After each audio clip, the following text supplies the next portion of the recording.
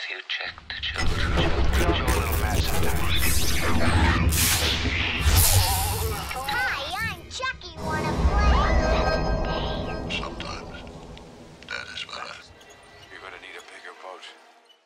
Hey everyone, welcome back to the Horror Show. I'm Cecil Laird, And Jaime En Fuego here. and we are back to continue our coverage of the Prom Night series with the one that was actually, rec- oh, starting with the one that was actually requested by a patron. Yeah. Hello, Mary Lou, Prom Night 2. Hello. So we're going to be discussing part two and part three in this review, just like in the last one we discussed the original Prom Night and its remake 28 years later. These two are the Mary Lou saga. Mary Lou Maloney. Indeed. So these are the two that deal with that character, so they're good to cover together. Shout out Heather Smith. We are very excited to be discussing this right now. Heather Yes. Smith, previously known as Heather Briley. so, yes, we are going to be starting off with Hello Mary Lou Prom Night 2, and I gotta say, Fuego, just right off the bat, this is easily my favorite of the series. Same. It's the best of the series. Not only is it the best of the series, but I think that even after watching it, you know, I hadn't seen it in years, hmm. but watching it now in 2021, that one holds up like a lot of other really high end 80s horror movies do. Like this one could easily be in one of the top 10 80s horror movies if someone really broke them down. Yeah, this was like right when horror was about to start becoming self-aware, I guess, and it does have kind of that vibe to it at least where characters are actually smart and the quips are sharp and there's some really cool setups in this, most notably the chalkboard scene. I love that Mhm, bit, love man. that yeah, too. yeah, you can definitely sense the Nightmare on Elm Street influence on this Big film time. to to a degree and the fact that they took the series in the supernatural territory in comparison with the original one didn't have any of that. Really, the only club's connection is what the fact that it takes place at the same school. I think there is like no connection with with the Jamie Lee one beyond that. So, but uh, yeah, man, I dig this movie. This one's a lot of fun. Yeah, so the, the original Prom Night and its remake were killers. Prom Night 2 and 3 is ghosts. Prom Night 4 is a serial killing priest. And then Prom Night 5 is demons. Mm-hmm. Yeah, so, five is off the rails, but that it's, Yeah, it, well, it's pretty fun actually. We'll, We'll, get talk it. about that. Yeah, So this one, uh, as we both said, i it's a great movie, and it starts off at 1957's Mm-hmm. prom, where there's a girl named Mary Lou who is brought with a guy, and the guy goes to get them drinks, and when he comes back, she's gone, and she's already making out with another guy behind the stage. And her first guy finds out, and basically she tells him to buzz off. Like it's the famous line that rings Mm-hmm. See you through the later, rest- alligator. no, well, it's the fa- the other famous line that rings through the rest of the series, which is, "It's not who who brought you, it's who you who you leave, leave with." with, yeah. And so he gets pissed, and when she is named prom queen, he basically tries to drop a stink bomb on her, but ends up lighting her on fire on stage in front of the entire school, and she burns while her new man is sitting there just off the stage, able to do nothing to save her. Mm-hmm. And she looks up and sees that it's the guy that brought her that did it before she finishes dying. Yeah. And then that's it. And, And Mary Lou Maloney is- horrified Yeah. because he wasn't intending to hurt her, to, Nope. to kill her. Obviously, he was just pissed off. So. No, indeed. And so that's that. And we flash forward to what is it, 1986 or Uh, 87, 87? It might have been. something like that. so it might have been Yeah. just um, late, late you know, 80s. Yeah. 30 years later, basically. And now the guy that originally brought her is the principal of Michael the school, Ironside. Michael Ironside, exactly.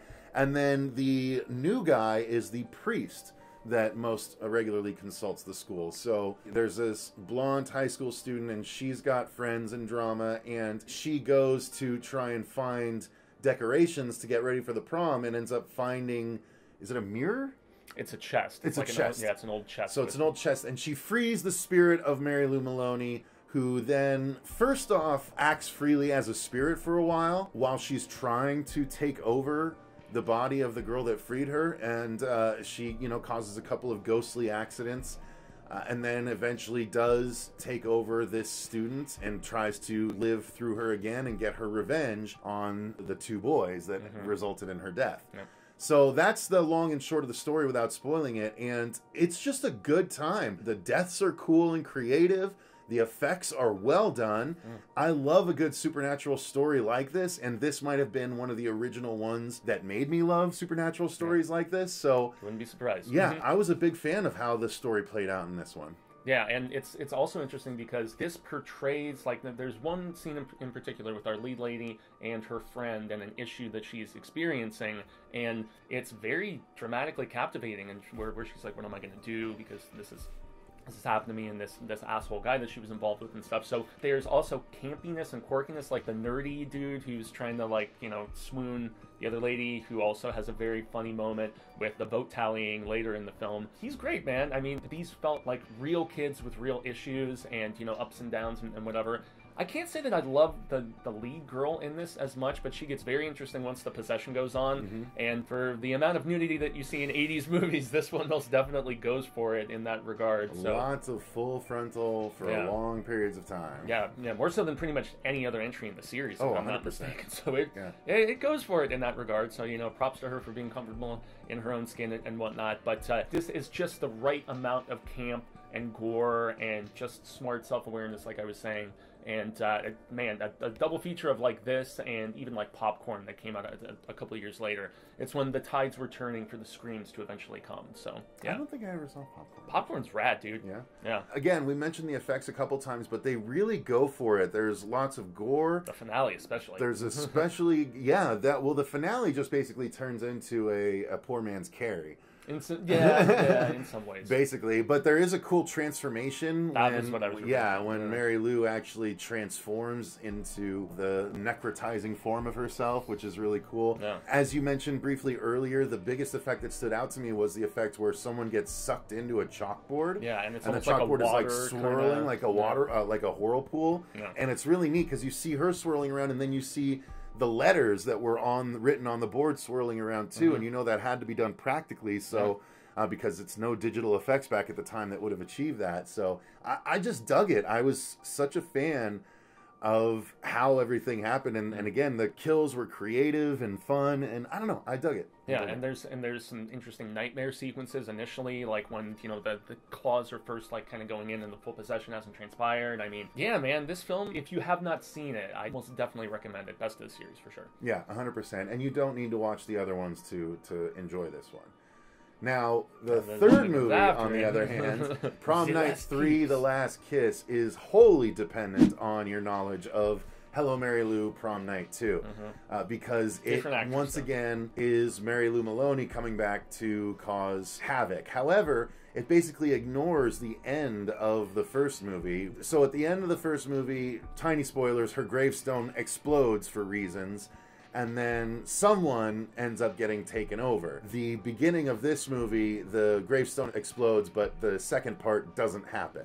Mary Lou's spirit continues to hang around the school and cause issues there mm-hmm. instead.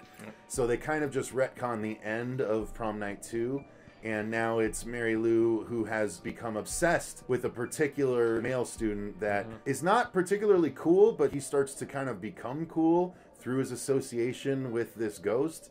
And he doesn't care that she's a ghost and stuff like that. So this movie is silly. I did not like it very much. And I think deliberately silly too. Oh, it Um, was mad slapsticky for the first two thirds Mm-hmm. on purpose, but then they abandon it, which is why the tone is all off through the movie. Yeah. And they try and be clever, silly, like part two was, but they fail at it. So Well, and that was the nice thing about two was that I, I felt like it balanced the horror and the humor and some of my favorite and scary flicks. They can straddle that line and they can do it properly. This one felt almost kind of like parody, man. You mm-hmm. know, like it was just Yeah. that deliberately trying to be goofy.